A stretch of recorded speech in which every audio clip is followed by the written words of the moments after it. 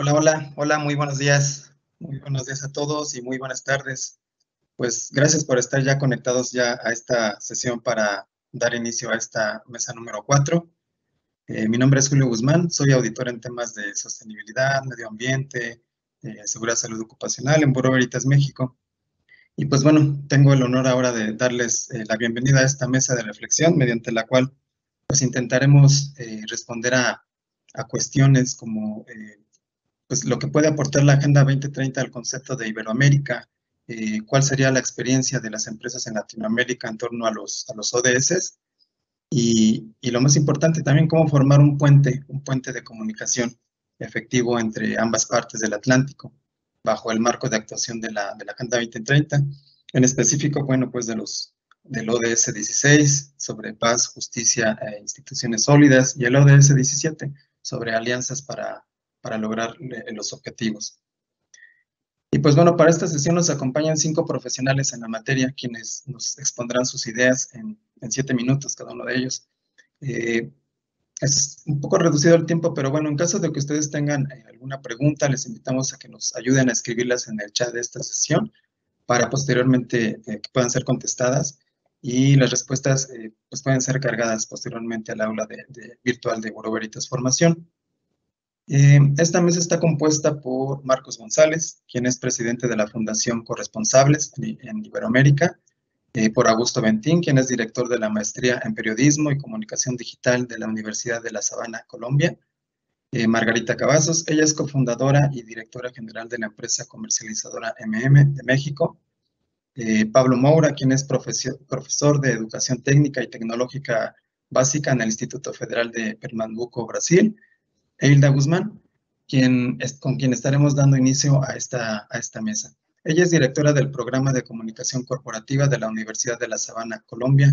Es comunicadora social y periodista con énfasis en comunicación organizacional. Eh, Hilda cuenta con más de 20 años de trayectoria profesional.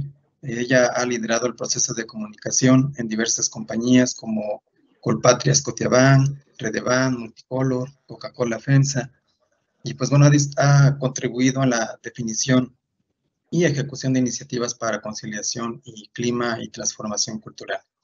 Y pues bueno, sin más palabras, eh, cedo la palabra a, a Hilda. Buenos días, buenas tardes. Un saludo muy especial desde Colombia y muchas gracias. Déjenme saber, por favor, si se está escuchando bien. Sí, perfectamente, Hilda, gracias. Bueno, muy bien, maravilloso. Me complace mucho compartir este espacio con ustedes y cuando preparaba los temas pensando en esta conversación tan importante sobre el tema de sostenibilidad, recordaba yo que el año pasado, haciendo la inauguración con el acto académico para el año 2020, el rector nos hacía una invitación muy importante, el rector en ese momento de la universidad, y nos decía, desde una narrativa muy particular, muy futurista, pensémonos en la universidad y sus características en el año 2050. Y entonces recordábamos algunas características que si bien parecían muy eh, exóticas, muy diferentes a nuestro contexto actual, finalmente nos hacía reflexionar y darnos cuenta que teníamos que construir ese 2050 desde hoy. Y entonces cuando en su narrativa volvía al presente y nos decía estamos en el 2020, eh, tenemos unos recorridos importantes en los diferentes eh, áreas del saber, en los diferentes temas y conocimientos, nos invitaba, nos abría la invitación dejándonos una ruta trazada para trabajar especialmente en estos temas de sostenibilidad. Y en esos temas quisiera compartirles que reposa nuestro proyecto educativo institucional, desde el cual entonces en el marco de establecer estos puentes de relacionamiento efectivo, vínculos de confianza y estratégicamente apuntándole a generar valor y transformar nuestro entorno, quisiera compartirles elementos que desde esos pilares de universidad de tercera generación estamos activando en nuestro pregrado a través del plan de estudios y también desde actividades extracurriculares. El primero tiene que ver justamente con la sostenibilidad. Y entonces cuando hablamos de sostenibilidad en el pregrado, hemos vinculado diferentes materias y diferentes tópicos en los cuales empresas del sector real, empresas de diferentes categorías, como por ejemplo Ecopetrol, este gran holding asociado al tema de combustible, petróleo en nuestro país y que tiene operación en otras partes, nos comparte sus casos de éxito, pero muy importante también sus retos, sus desafíos, porque hemos entendido también desde el ejercicio curricular que más allá de compartir esas buenas prácticas que sin duda se vuelven muy importantes en ese motor inspirador para el emprendimiento, para la innovación, para trabajar en objetivos de desarrollo sostenible, hemos visto que cobra muchísimo valor el que quienes lideran todos estos procesos en las compañías, ya mencionaba uno de ellos, Ecopetrol, nos compartan cuáles han sido sus dolores con la comunidad, con legislación, con otro tipo de temas asociados al rol de la comunicación corporativa. Hace nada más un mes estábamos justamente con Carolina Ocampo, gerente de sostenibilidad y responsabilidad social de Ecopetrol, y nos compartía, a lo cual vinculamos diferentes clases del pregrado, cuáles han sido esos retos con los cuales incluso están articulando la estrategia, llaman ellos, de sostenibilidad. Ese es un punto de conversación muy importante para nuestros estudiantes en el pregrado, con los profesores, con las diferentes unidades académicas y que sin duda generamos esa reflexión, ese diálogo constructivo en, en donde entendemos que tenemos contextos similares, raíces culturales que nos hacen también eh, sentir esa afinidad y que por supuesto nos reta a tener esa capacidad de extrapolar esas experiencias de trabajo de construcción a través del diálogo, a través de la innovación y a través también del desarrollo de habilidades de emprendimiento desde aquí, desde la academia. Un segundo punto que también mencionábamos tiene que ver con generar ese valor generar esa creación de espacios que permitan identificar las necesidades de la comunidad, identificar oportunidades para generar equidad, identificar oportunidades incluso para traer también todos esos nuevos derroteros que hacen parte de eh, los objetivos de desarrollo sostenible articulados desde las competencias y el perfil ocupacional. Y entonces allí un caso muy puntual eh, que tiene dos experiencias transversales en el pregrado tienen que ver el primero con la vinculación que hemos hecho a través del Centro de Emprendimiento e Innovación de la Universidad de La Sabana, con el cual estamos generando unos vínculos muy importantes entre los estudiantes del pregrado y estudiantes de colegio, que a través de una iniciativa en donde se vinculan también otros entes muy importantes en el país, como son Impulsa Colombia, nos han permitido encontrar aquellos puntos de conexión en los jóvenes para construir una sociedad con mayor convivencia, con paz y con el cuidado del medio ambiente, asimismo garantizar la dignidad del ser humano, pilares de nuestra educación en la universidad. Y un último punto también que quisiera resaltar es que desarrollando estos temas de innovación y emprendimiento, así como en este programa que les menciono vinculados a través de colegios que se llama Fábricas de Ideas Sostenibles, nos ha ayudado entonces a motivar e inspirar a los jóvenes a que salgan de su esfera de eh, entorno, de su esfera y de su entorno directo, a que conozcan las necesidades y las expectativas de los diferentes stakeholders, a que a través del diálogo construyamos paz, convivencia, equidad, cultura de diversidad en las organizaciones y que por supuesto le apuntemos a la sostenibilidad. Por supuesto estaré muy pendiente de los de las inquietudes que surjan a lo largo de la sesión. Muchas gracias por este espacio. Muchas gracias, Ilva. Y bueno, a continuación está con, con nosotros eh, Pablo Moura. Eh, Pablo es eh, doctor en Ciencias Sociales por la Universidad Federal de Campina Grande. Él es magíster en Ciencias Sociales por la Universidad Federal de Río Grande del Norte. él tiene experiencia como docente en el Departamento de Ciencias Sociales de la Universidad Federal de Paraíba, experiencia en el área de recursos humanos, Em, actuando también en el Grupo de Estudios e Investigaciones de América Latina Contemporánea, investigador del Grupo Praxis y del Grupo de Investigación de Partidos Políticos y Elecciones del Departamento de Ciencias Sociales de la UFPB en Brasil.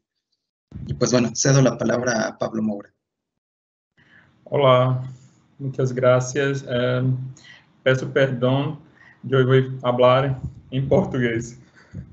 Eh, Primeiro, gostaria de agradecer o convite da Rema Ventim. É, graças por, por o convite. E, pessoal, gostaria de, de me ater a um ponto uh, das jornadas ODS, né, sobre 2030, muito específico, né, que é o ponto da, da questão que está no nosso, no nosso cartaz, né, das jornadas, que é sobre a comunicação entre as duas partes do Atlântico, né, para uma Agenda 2030.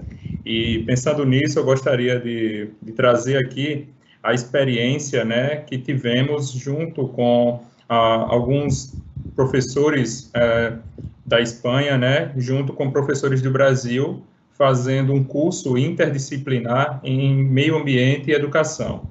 Ah, rapidamente, uh, o Instituto Federal de Pernambuco, onde eu sou professor, ele é um instituto localizado aqui no Nordeste do Brasil, mas ele é vinculado a toda a rede federal de institutos. Então, o Instituto Federal ele está presente nos 27 estados né, do Brasil né, e trabalha a questão de educação, ciência e tecnologia. Então, onde eu estou localizado é um dos 27. E aí, nessa, nesse primeiro curso que fizemos Brasil e Espanha, Meio Ambiente e Educação, pensamos na possibilidade do seguinte, né? O Instituto Federal, ele trabalha em três grandes áreas. A primeira é o ensino, né? Ensino e aprendizagem de alunos uh, secundários e de curso superior, né? E alguns de pós-graduação. Uh, também tem como outro, outra função a pesquisa e uma terceira função que é a extensão, que é, é a, vamos dizer assim, são os cursos que professores dos institutos federais do Brasil dão para fora do seu próprio instituto, ou seja, para a comunidade, para a população. E aí veio a, a possibilidade de fazer um curso de extensão Brasil-Espanha em meio ambiente e educação.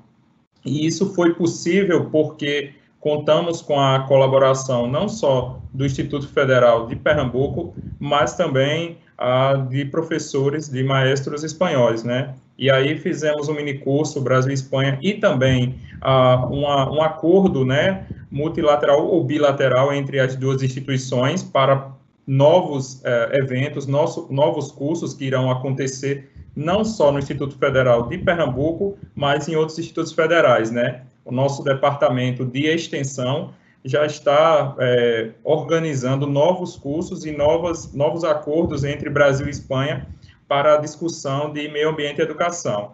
Então, ah, na nossa experiência aqui, né, que tivemos agora em junho, o mini curso tratou de quatro subtemas, ah, basicamente, né, na parte de água, ah, normas legais sobre meio ambiente, questão da economia circular, também da questão do desenvolvimento sustentável. E aí, para essa realização, contamos com a presença sempre de dois, uh, dois expoentes ou dois palestrantes, que um era brasileiro do Instituto Federal de Pernambuco, mas também do Instituto Federal de Minas, e outro espanhol. Então, entre eles, a, a Rema Ventim também colaborou conosco. Então, a cada palestra, a cada dia de evento, tivemos uma dupla, um brasileiro e um espanhol, fazendo uma interdisciplinaridade entre os temas né, que acabo de falar. Então, foi um mini curso muito proveitoso. Uh, tivemos um, inscrições recordes aqui né, para o Instituto Federal, para um evento acadêmico.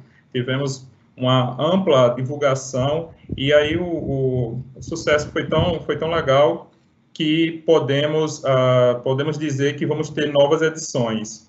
É, então, gostaria só de frisar a importância desses acordos para a educação e meio ambiente. Né? A partir da, da, da proximidade entre Brasil e Espanha, podemos ver, por exemplo, que alguns alunos perceberam que as mudanças climáticas, as normas legais que regem, por exemplo, a, as políticas de meio ambiente da Espanha são muito próximas da do Brasil. Então, essa conexão, essa troca de informações foi muito rica, porque eles perceberam que normas, políticas públicas na área de meio ambiente e educação são muito próximas de Brasil e de Espanha. E aí eles tiveram, por exemplo, com, essa, com essa troca, com esse intercâmbio Brasil e Espanha de professores, um conhecimento que só esse intercâmbio, só essa troca poderia trazer. Uh, uma coisa é o conhecimento teórico, né, que nós temos, outra coisa é também, a, não só aliado ao conhecimento teórico, a parte prática que os professores da Espanha puderam contribuir com nossos alunos do ensino secundário e também do ensino superior. Então, nesse momento, o Instituto Federal de Pernambuco está justamente, juntamente com alguns é, professores, né, organizando novos eventos em novas áreas da temática de meio ambiente e educação. Por exemplo, ao final do mês de outubro, vamos discutir a questão da utilização da energia nuclear e da energia solar para como fonte de energias aqui no Brasil, principalmente a energia solar nos institutos federais. Então, a energia solar está sendo muito utilizada, né, para para vamos dizer assim, geração de, de, de energia aqui nos institutos federais, e aí pretendemos ver as experiências de professores espanhóis, e aí a ideia é convidar alguns dos nossos colegas para participar conosco. Então, há um, há um, há um, há uma firma, foi firmado um acordo entre as duas partes em que vamos ter essa troca, esse intercâmbio de, de conhecimento para as duas áreas, né, para, perdão, para, para os dois países em diversas áreas que incluam meio ambiente e educação. Então, creio que esse evento que realizamos em junho seja só uh, o começo de outros, uh, de outros, uh, de outras possibilidades de trabalho entre Brasil e Espanha.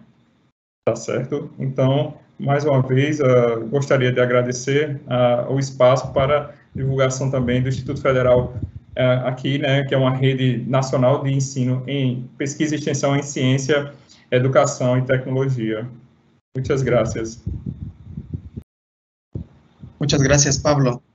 Y bueno, a continuación nos acompaña Margarita Cavazos. Ella es eh, cofundadora y directora general de la empresa comercializadora MM. es una organización dedicada a la comercialización de productos del sector de alimentos, sector de la salud y negocios como asesoría legal y fiscal.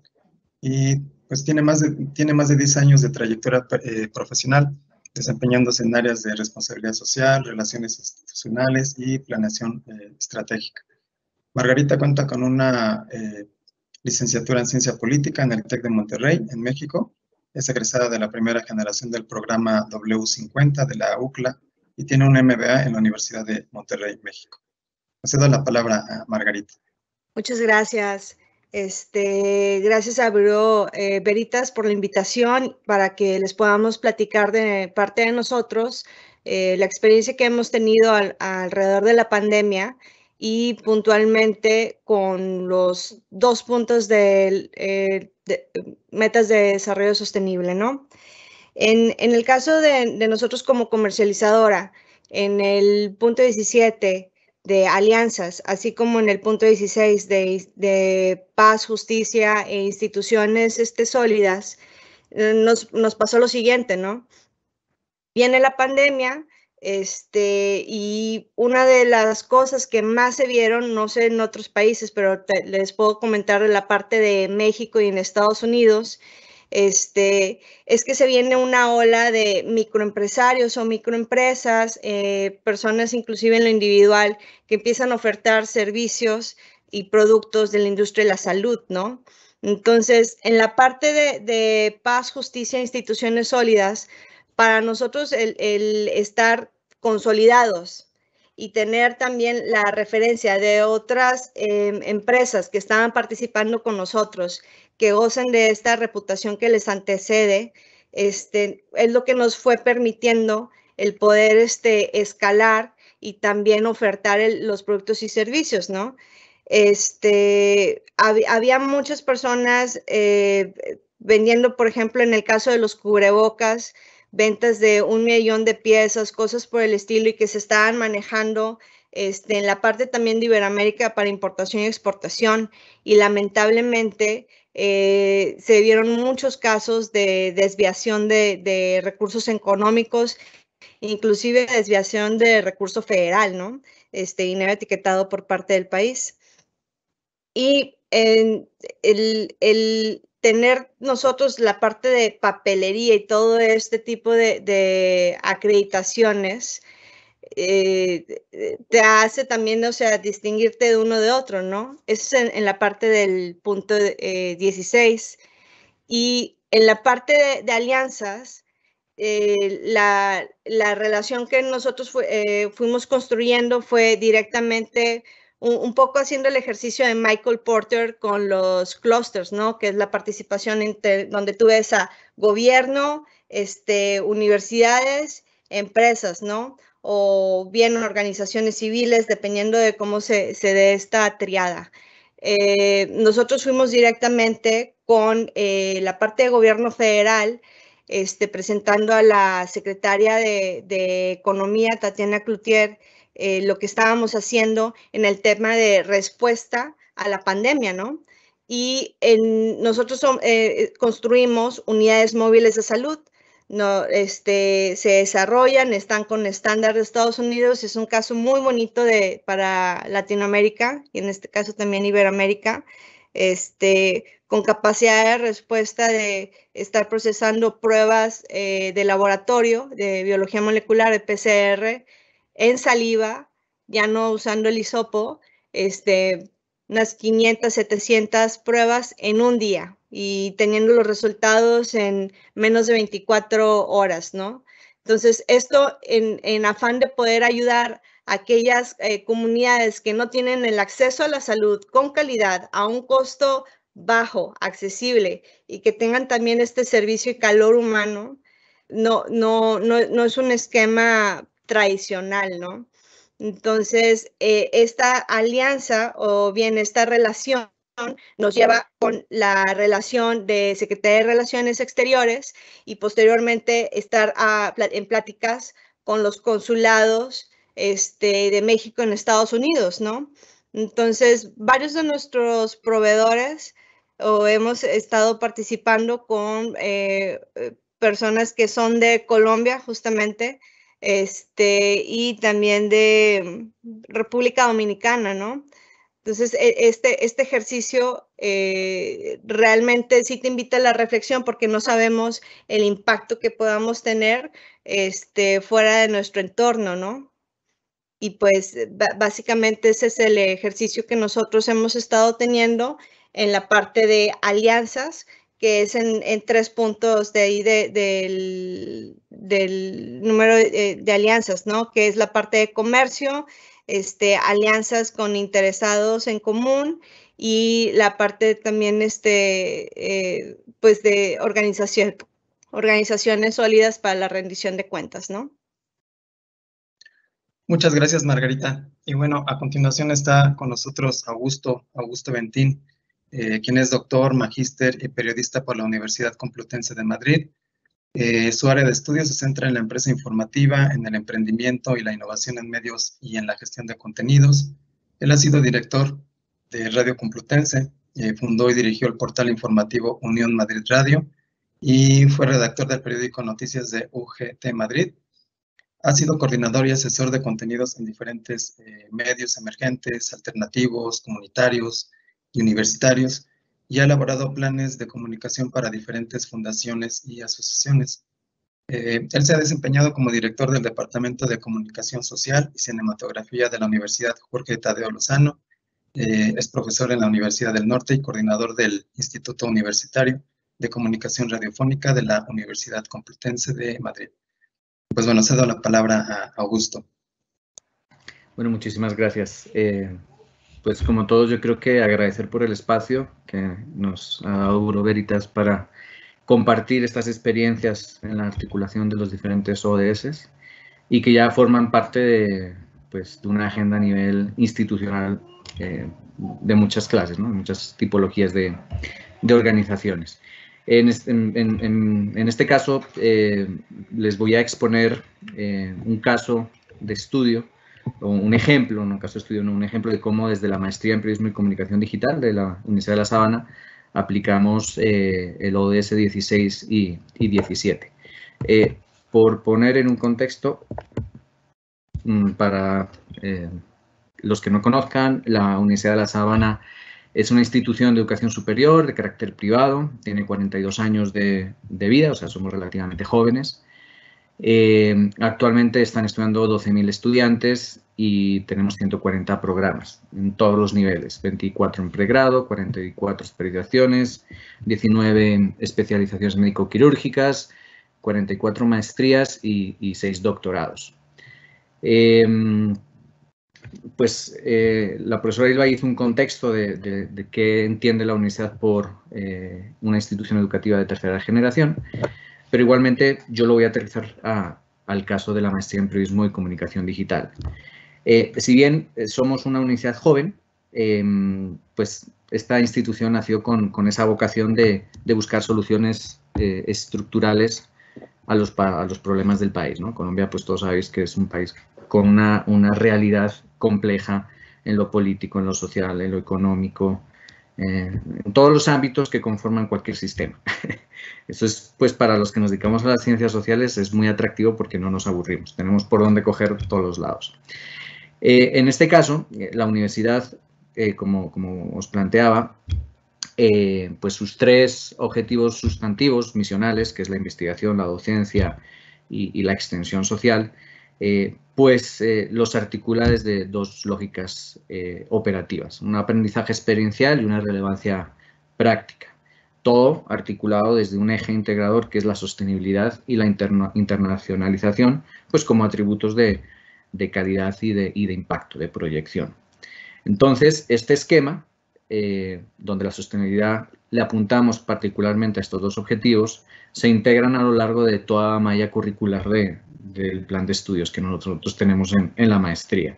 Son cuatro semestres, dos años, y en todas esta es la lógica que, atiende aprendizaje experiencial, que es un proceso de reflexión del quehacer, en el que se indaga y desde un análisis sistémico eh, pues se identifican eh, retos y la relevancia práctica es que ese reto que se ha identificado desde el aprendizaje experiencial pues tenga una solución de impacto, una solución real eh, que busque transformación. Y aquí voy a hablar del ejercicio que realizamos en una materia que es la de gestión, emprendimiento e innovación en medios de comunicación a partir de un contexto, de un trabajo que hicimos con los estudiantes en alianza pues, con otras instituciones, que pues, ahora más adelante voy a hablar. Y es un caso de, con motivo de las protestas sociales que han acudido o que, han sacudido toda Latinoamérica.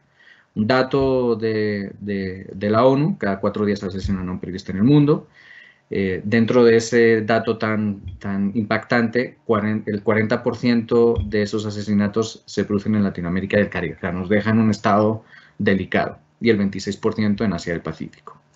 Eh, lo curioso es que el 66% de esos asesinatos se dan en países que están en aparente paz, o sea, no hay un conflicto armado, no hay una guerra, aunque ese es un concepto también muy discutible que incluso en Colombia, según la tendencia ideológica, se puede decir que hay o no un conflicto armado, pero bueno, son países que no tienen declarada una guerra como tal, entonces 66%. Eso nos, nos hizo entender el caso de las protestas sociales, eh, que en los últimos cuatro años pues, eh, son el pan de cada día dentro de nuestra, en el cubrimiento de la actividad periodística. Por ejemplo, en Colombia, en las protestas que reiniciaron, retomaron ahora en, en abril, pues eh, ya se contabilizan más de 280 actos de violencia contra periodistas. En Nicaragua 250, en Chile 100, en las de 2018 en Venezuela 112, o sea, un montón. Y esto eh, pues nos llevó a tener dos referentes. Primero, bueno, qué, cuál es el papel que tiene un medio de comunicación en la sociedad, cuál es su función social y qué han planteado las grandes organizaciones como la UNESCO, en el caso del informe McBride, eh, sobre el papel de la comunicación y los medios. Entonces, función social, reducir la entropía del sistema, esa complejidad tan pseudo caótica que hay. Digo pseudo porque el caos como tal no creo que exista, pero ahí estamos. Em, y esa reducción de, la complejidad del sistema implica una diversidad como principio, diversidad de miradas a la hora de enfrentarnos a esa manera de entender esa entropía del sistema. Y el informe de la UNESCO, pues la comunicación como un derecho, y como derecho implica que hay una bidireccionalidad en informar y ser informados y que los medios son fundamentales para el desarrollo de cualquier democracia. Eso, con los datos que veíamos eh, en la diapositiva anterior, pues digan, bueno, realmente eso es un problema que para cualquier proceso de desarrollo eh, y sostenibilidad, la comunicación es un principio básico y los medios cumplen un papel fundamental. Ahí hay una tipología de las 26 modalidades que hemos registrado eh, en Colombia de violencia sobre el periodista. Ahí pues podría de esto hablar un mes entero, pero bueno, ahí tenéis una, un ejemplo.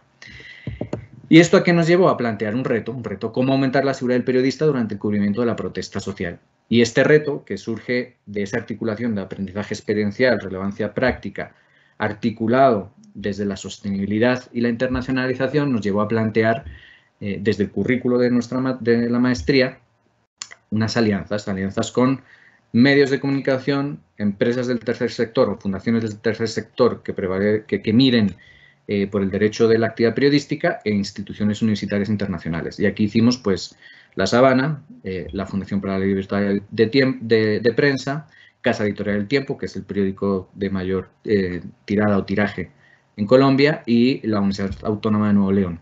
Y elaboramos un reto y desarrollamos, entre otras, una solución que era una APP que se llama Reto Seguro, eh, que a partir de todas eh, las 26 formas de, violencia sobre el periodista, pues nos llevó a, a desarrollarla. Se presentó la propuesta y estamos actualmente en un proceso de innovación abierta, que estáis todos invitados, porque la lógica es desarrollar una app al servicio de libre uso eh, para todos. Bueno, creo que cumple los 7 minutos 18 segundos, me podría explayar, pero esta es como la aproximación que nosotros tenemos desde la Universidad de La Sabana y la Maestría en Periodismo y Comunicación Digital mediante la articulación de eh, ODS 16 y 17. Muchas gracias.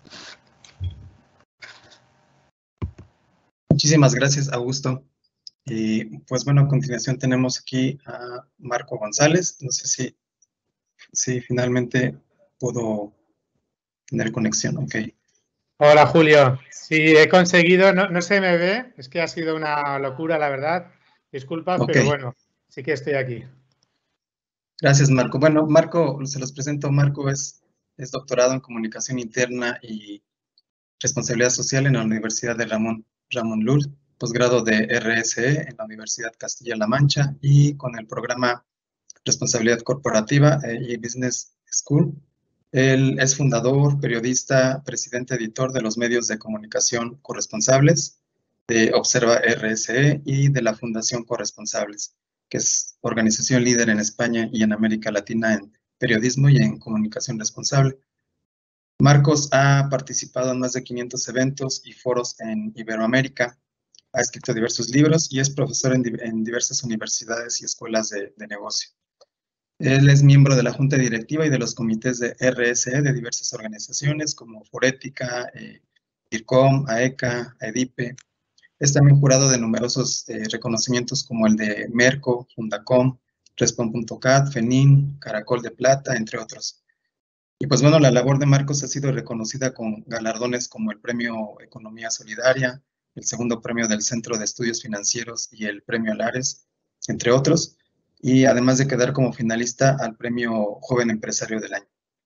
Eh, y bueno, con Marcos estaríamos dando por concluida esta mesa número 4, pero así que sin más, sin más palabras, eh, le cedo la palabra a Marcos. Vale, muchas gracias Julio. Creo que se ve, ¿verdad? La presentación, eh, el PowerPoint, sí, ¿verdad? Sí, se ve. ah, perfecto. Bueno, pues un poco ya los saludos a todos. muchas gracias por la invitación a corresponsables. Eh, me ha gustado mucho todo lo que he escuchado y un poco, pues, por añadir algunos, eh, algunos elementos, como bien comentabas, eh, como periodista, como medio de comunicación especializada en esta materia, pues un poco lo que hemos visto en todos estos años en, ambos lados del charco, ¿no?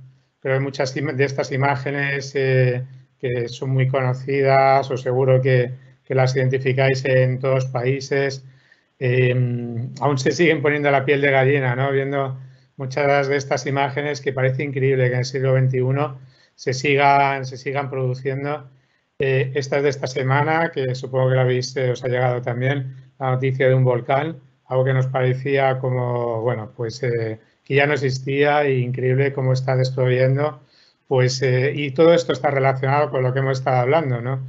Hay muchos datos que no me quiero entretener, yo creo que todos los conocéis muy bien, que demuestran, y aún más con esta pandemia, pues de que cada vez hay más pobreza, cada vez hay más desigualdad, cada vez está peor repartida la relación de riqueza y muchos temas relacionados con todo lo que ha salido en esta, en esta sesión, como el cambio climático, pues eh, se están haciendo, se están agravando. ¿no?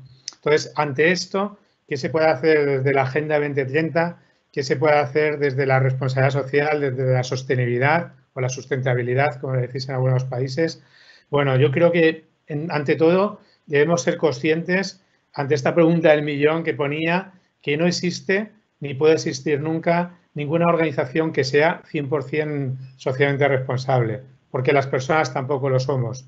Todas tenemos virtudes, todas tenemos defectos y yo creo que desde esa visión, por lo menos en corresponsables, así ya llevamos entendiendo pues en estos más de 15 años, y también con lo que hemos visto en América Latina, creo que la visión a la hora de afrontar estos temas, porque cuando se buscan posiciones muy, muy radicales, mm, te quedas siempre diciendo, ya, pero es que esta organización cualquiera de las que habéis mencionado esta, esta sesión, es que también hace esto mal, es que también esto otro. Bueno, lo importante, o así creemos en nuestro medio de comunicación y nuestra misión es la de dar a conocer lo que se hace bien.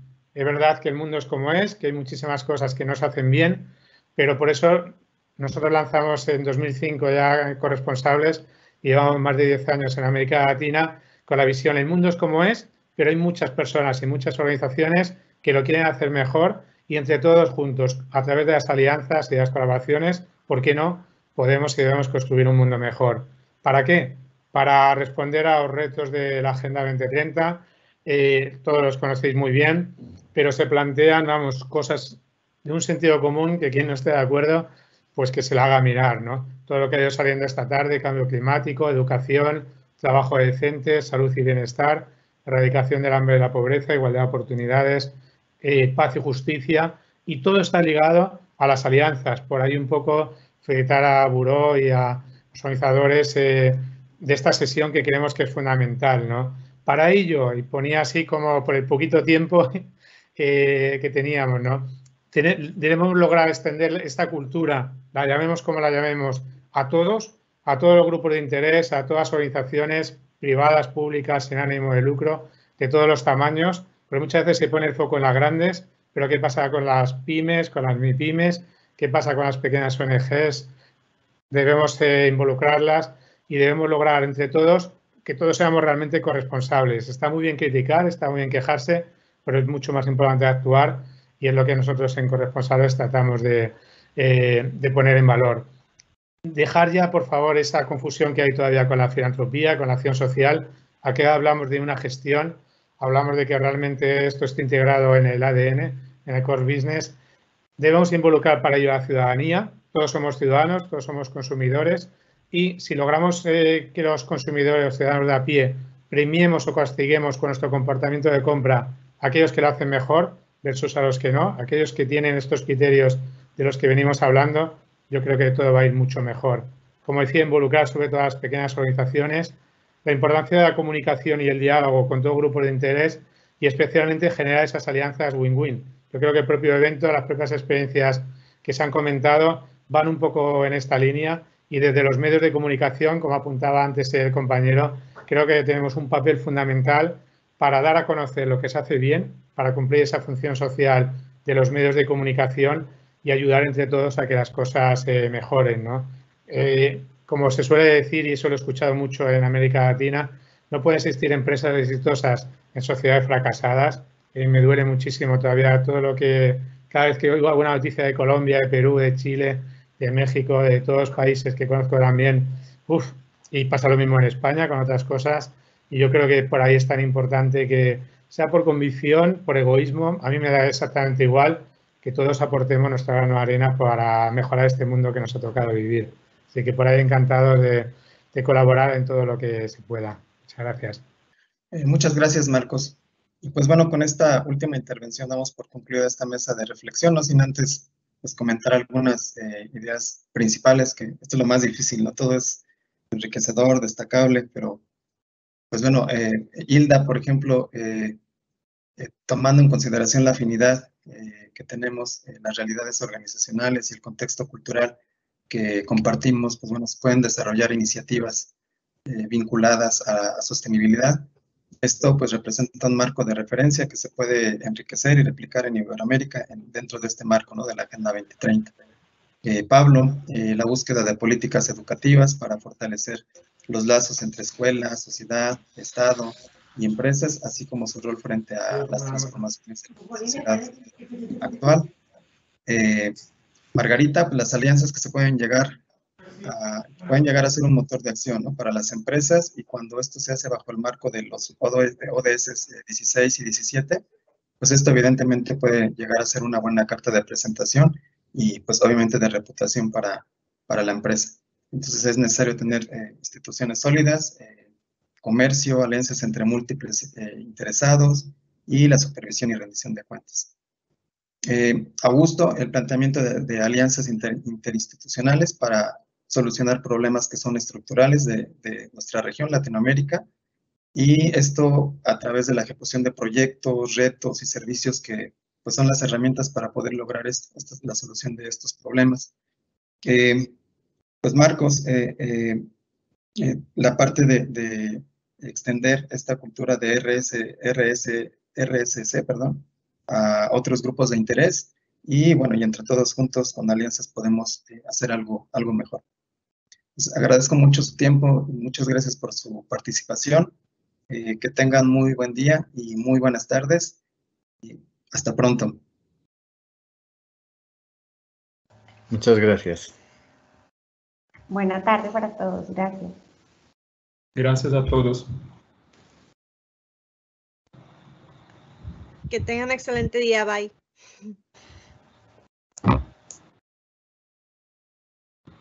Gracias. Damos fin a esta mesa con las reflexiones de Gabriela Jacobo, fundadora de BioDS, que nos explica qué es la Agenda 2030 y nos presenta esta iniciativa.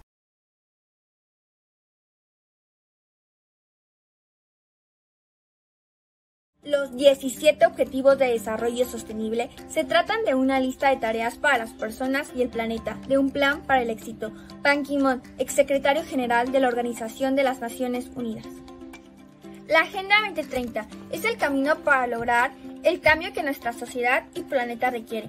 La pandemia ha dificultado su cumplimiento. A pesar de ello, grandes ciudadanos se han consumado como líderes extraordinarios por tomar los obstáculos como oportunidades.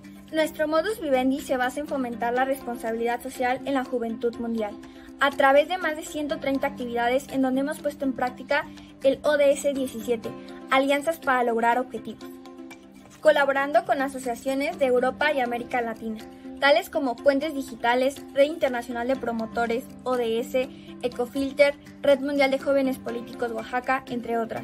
Actualmente fundamos la organización BIODS, cuya misión es contribuir al cumplimiento de la Agenda 2030 y la preservación de las abejas. Mi nombre es Graciela Jacob Espinosa, fundadora de la antes mencionada organización BIODS.